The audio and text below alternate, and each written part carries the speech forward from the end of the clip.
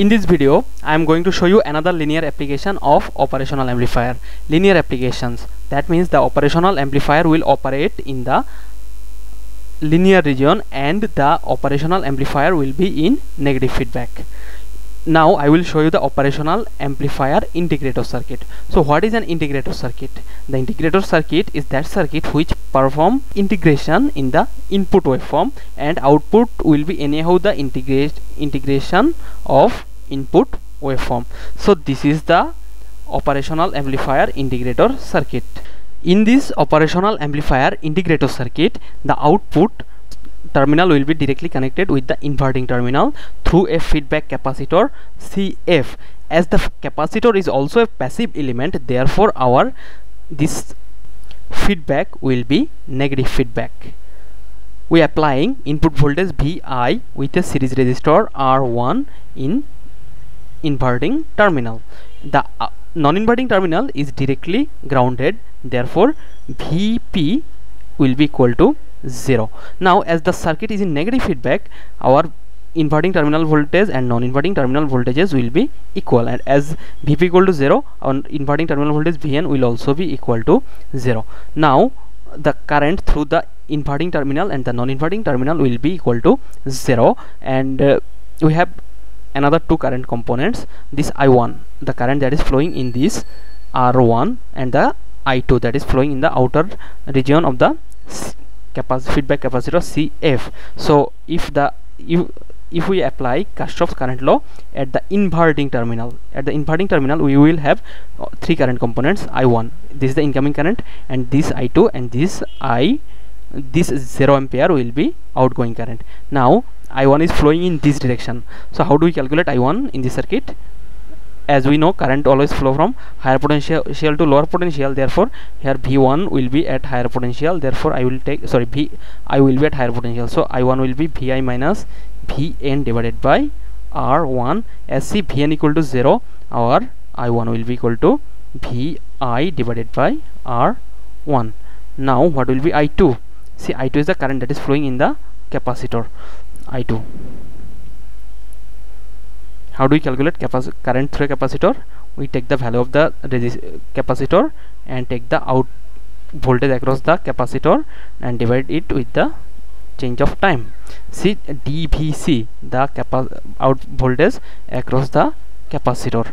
Okay see current is flowing in this direction. Therefore that means this i vn will be at higher potential with respect to this output voltage. Therefore our c our i2 we can write i2 equal to d Vn minus Vo divided by dt as our Vn equal to 0 this is equal to 0 so our I we can write I2 equal to C F dvo of dt and in front of it it will contain a it will contain a minus sign. Okay now apply Kirchhoff's current law at this terminal. This is incoming current and this I2 and this 0 are outgoing current. So if we apply Kirchhoff current law to the inverting terminal we will get I1 equal to I2 plus 0 and if we put the value of I, I1 and I2 in the equation we will get Vi divided by R1 equal to minus CF into dVo of dt our final task is to find out the value of output voltage. Therefore keep the dVo at one side and all other terms in the right side. To find out the VO we have to perform integration in the left and right side with respect to their integral operator. See this is dvo that means here operator is voltage. This is dt that means the integral operator is current. So let's say the change of output voltage from t equal to 0 to t equal to vo of t equal to 0 to t equal to t.